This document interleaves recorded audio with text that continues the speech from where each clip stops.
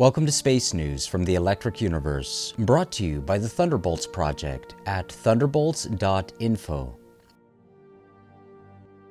In a recent Space News episode, we reported on two 2016 scientific studies that each serve potentially fatal blows to the hypothesis of dark matter.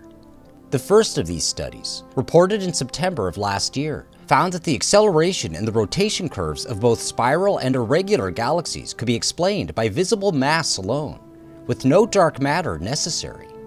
Professor of Physics and Astronomy David Merritt says of the findings Galaxy rotation curves have traditionally been explained via an ad hoc hypothesis that galaxies are surrounded by dark matter.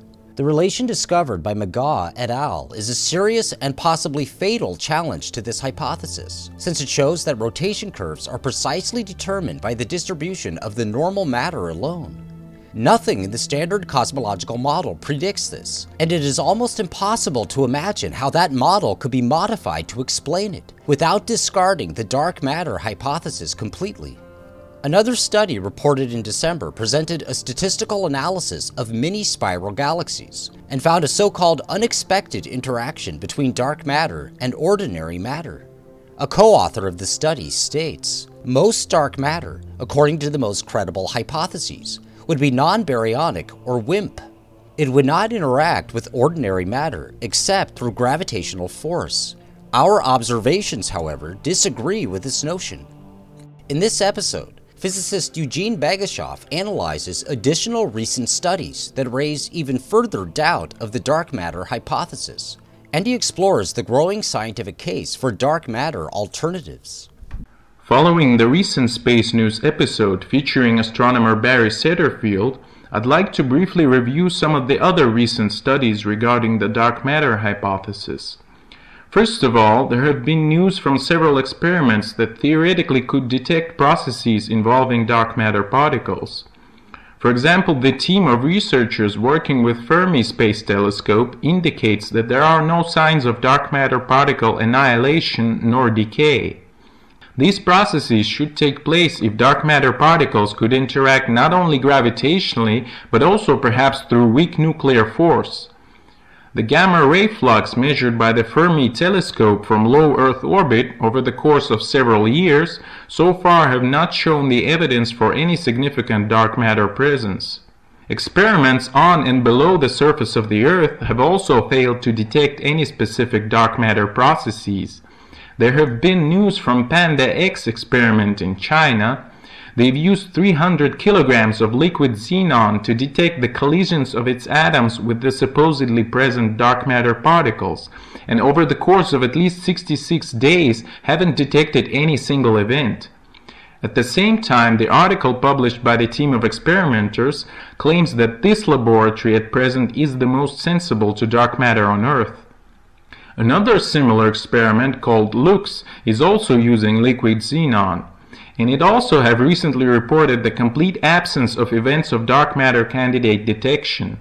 20 months of observations from October 2014 to May 2016 have yielded zero observed events. Third experiment using the same technique is Xenon 100. 477 days of data taking have not resulted in a detection of a single dark matter particle interaction. The Large Hadron Collider, which once was a big hope for finding lots of what is called new physics, have also not produced any new findings in the recent years. What it does now is basically refining the previous measurements with more and more statistics and putting more and more strict constraints on the theoretical physicist's proliferative imagination.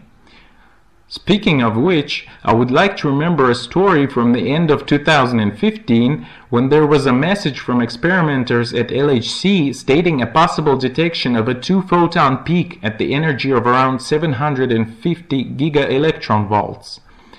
This was quickly followed by literally hundreds of papers submitted by theoretical physicists, each stating his own hypothesis on what this peak might stand for. Some of the versions included possible dark matter connection. But perhaps the most embarrassing was the fact that this peak just disappeared a few months later after accumulating more data. It turned out to be just a statistical artifact. But the social phenomenon of this theoretical physicist rush have itself turned into the object of public and scientific attention, including some jokes and sarcastic publications. In the previous episode of Space News on Dark Matter, Barry Setterfield have already made the point that there is a more or less suitable mathematical alternative to the dark matter hypothesis, the modified Newtonian dynamics, or MOND for short.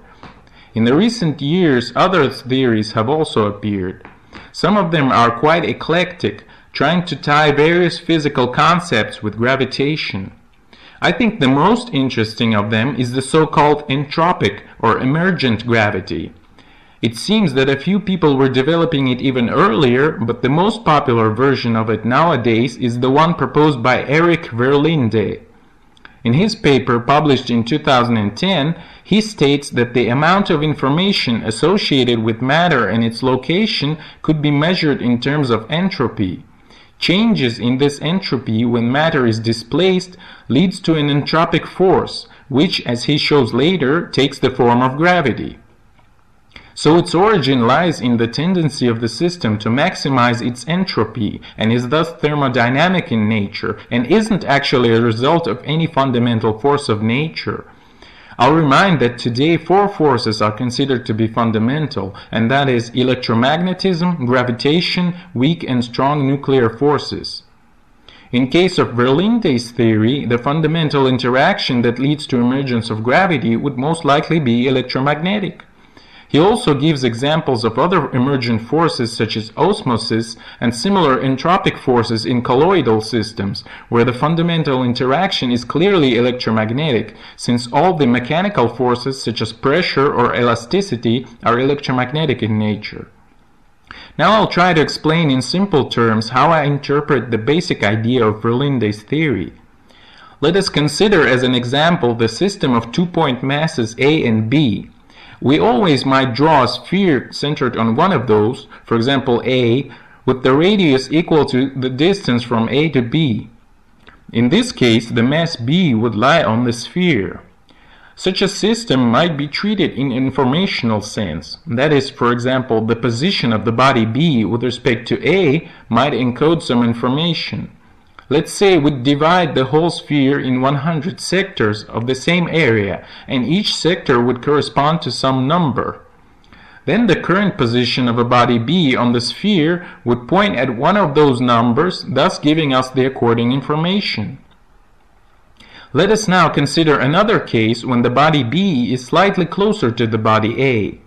Now we might repeat the same drawing procedure, but soon we would find that the number of sectors that we might divide the sphere in is actually less. If we try to keep the same area of sectors, it is obvious that we couldn't fit the same amount on a smaller sphere. So the amount of information that we might encode in this smaller system became less. Thermodynamically, this means that the entropy has increased, and the system now might provide less ordering. So the system with masses situated closer together is thermodynamically more stable, and it is in this direction that the evolution of the closed system would go, and there is an effective entropic force that arises to guide this evolution. It is possible to formally derive the according equations, and Verlinde does that in, this, in his paper. In my opinion, the idea is quite interesting, and at the very least deserves a careful and thorough analysis.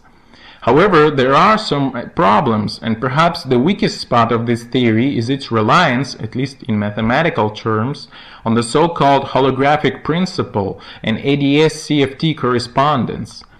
Both of those are pretty specific theoretical conjectures and are highly speculative in nature. Anyway, what interests us here in the given context is that based on his own approach, Verlinde seemed to have succeeded in acquiring equations that are practically identical to Milgrom's Mond equations for large-scale gravitating systems such as galaxies. And more than that, in December of 2016, there appeared a publication that claimed incredibly accurate confirmation of Verlinde's predictions for the case of gravitational lensing. Of course, the very phenomenon of gravitational lensing is somewhat doubtful, though Verlinde's theory could actually shed more light on its nature. If gravitation is not even a fundamental force but some emergent effect, maybe this would also concern the propagation of electromagnetic waves. That way or another, the theory is there, and the publications that seem to suggest its practical value are starting to appear. So now, not only we don't register any dark matter particles, but we also have at least three alternatives to dark matter hypothesis itself. First one comes from plasma dynamics, the second one is MOND, and the third one is Verlinde's emergent gravity. In my opinion, it is a very good situation for science as such, and one should try to encourage the existing controversy, since it is the controversy that is the real life of science. This actually brings hope for the academia as a whole, with its dogmas of settled science, and possibly it could even serve as a sort of a pivotal point for the scientific revolutions in other areas in the coming years. With the current political situation in both the European Union and the United States, as well as the imminent stock market and banking system crisis, it is entirely possible that there would spark major scientific debates in the areas that only recently were considered to be totally settled. But as the scientific institutions would try to adapt to the new reality and shifted financial flows, the situation would become different. In my opinion, this provides a certain opportunity for many alternative schools of thought, including the electric universe paradigm. For continuous updates on space news from the electric universe, stay tuned to thunderbolts.info.